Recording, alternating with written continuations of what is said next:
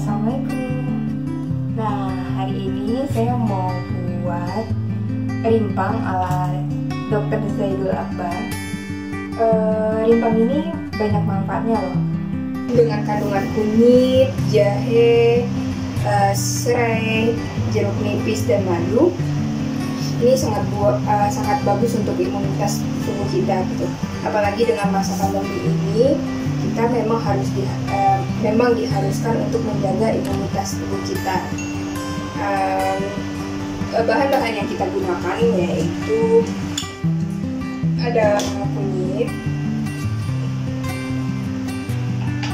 jahe,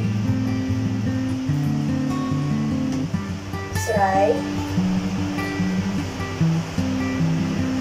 jeruk nipis,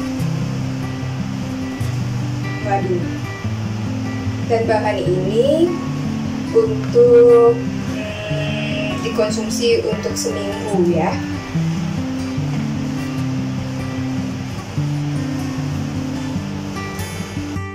Nah, berikut beberapa manfaat dari rimpang ini.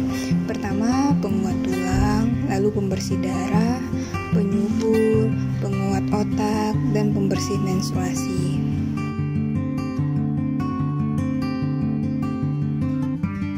Kita iris uh, kunyit sama jahe.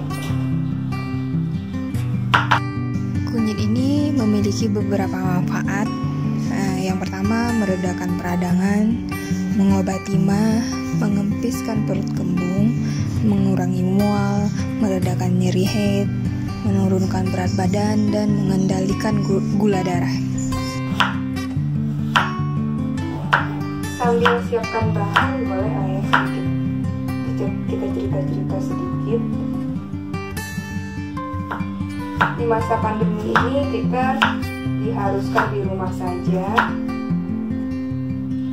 Dengan banyak waktu luang di rumah bosan dong. Mau ngapain?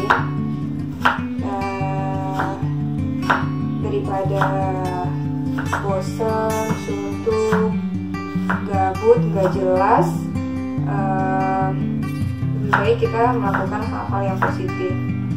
Salah satunya um, sesuai hobi sih. Salah satunya saya buat video masak-masak. Untuk sementara saya buat video masak-masak. Itu sebenarnya masakan sehari-hari.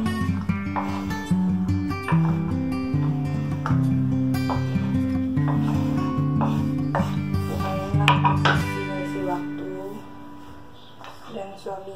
edit video.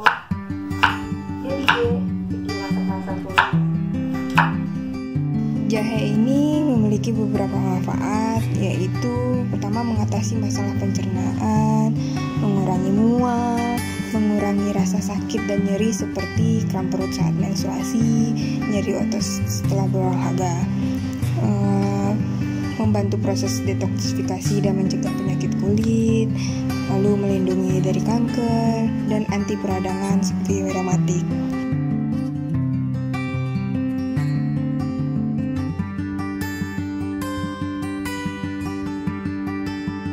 Selanjutnya kita potong daun serai.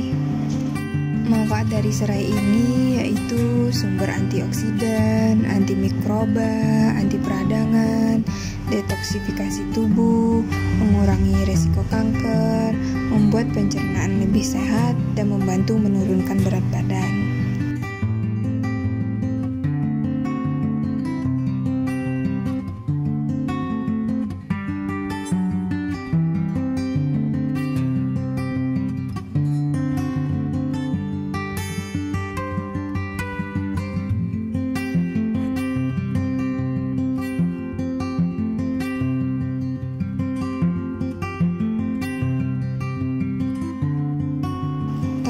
Selanjutnya tinggal tuangkan air hangat.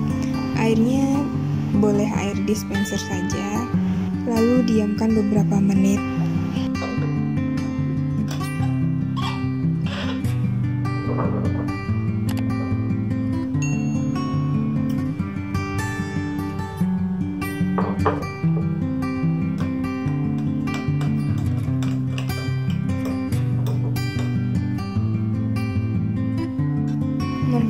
Nipis yaitu meremajakan kulit, melancarkan pencernaan, meningkatkan sistem kekebalan tubuh, membantu menurunkan berat badan, menjaga gula darah, mengurangi resiko penyakit jantung, dan menurunkan resiko kanker.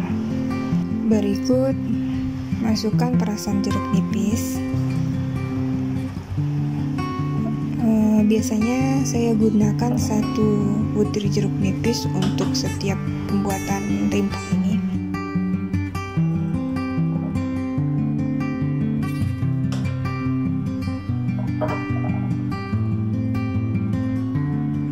Masukkan madu. Takarannya sesuai selera ya. Manfaat madu ini yaitu meningkatkan energi, menurunkan dan mencegah efek kolesterol jahat, obat flu dan batuk alami, dan untuk kesehatan kulit.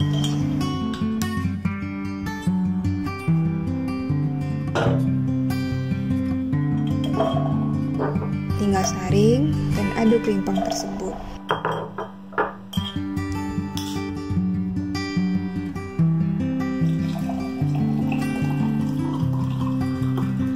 Rimpang ini dianjurkan minum saat perut kosong di pagi hari dan malam hari sebelum tidur.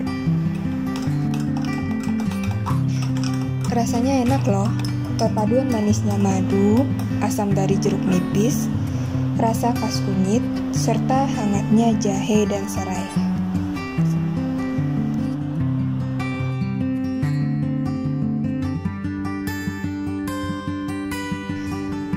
Yang telah diiris ini disimpan ke dalam kulkas, disiapkan untuk seminggu agar praktis dan gak males buatnya. Tinggal iris jeruk nipis dan tuangkan madu di setiap pembuatan rimpang. Cobain deh, insya Allah berasa banget di tubuh.